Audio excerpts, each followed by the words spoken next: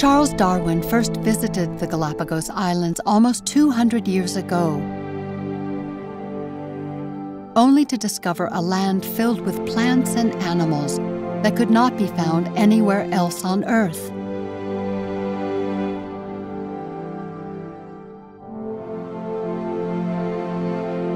How did they come to inhabit the islands?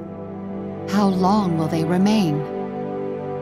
Thoroughly researched and filled with intricate and beautiful paintings, this video adaptation of the extraordinary book by acclaimed author and illustrator Jason Chin is an epic saga of the life of an island, its birth in fire, its rise to greatness, its decline, and finally, the emergence of life on new islands.